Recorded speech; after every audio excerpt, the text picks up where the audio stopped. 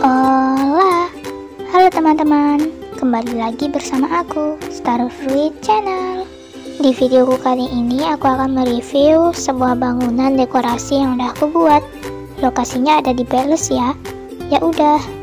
Tanpa berlama-lama, langsung saja ke reviewnya. Oke teman-teman, aku sudah berada di depan gerbang palace atau di depan gerbang istana.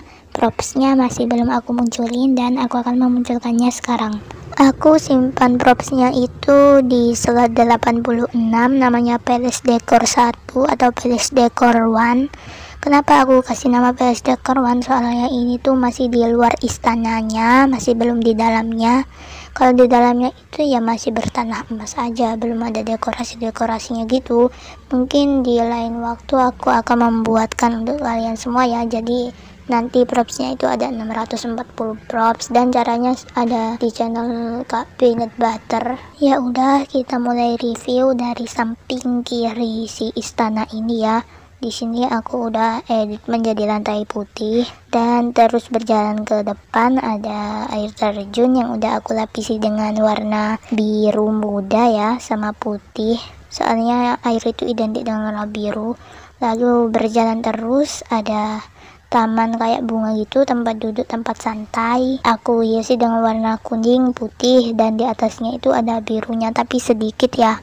Setelah review taman taman mini di bagian paling depan sisi kiri ada parkiran parkiran helikopter ya. Terus kalau di sisi kanannya bagian paling depan itu ada parkiran mobil. Dan aku tanahnya itu seperti tanah di amusement park ya dan sekarang aku mau mencoba naik helikopternya. Melihat pemandangan di atas ya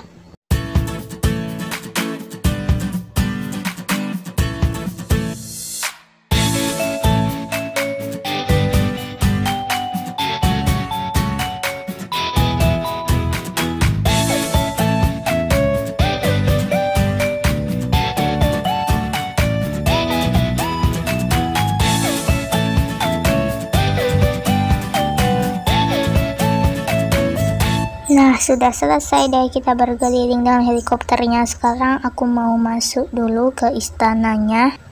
Wow, beneran bertanah emas. Orang kaya nih. Tapi sayangnya istananya itu masih belum ada riasan-riasannya. Sekiranya cocok sama lantainya gitu. Kapan-kapan insya Allah aku buatin. Dan aku mau lihat dulu kolamnya, paling penasaran. Siapa tahu ikut emas juga airnya. Oh, ternyata masih bening.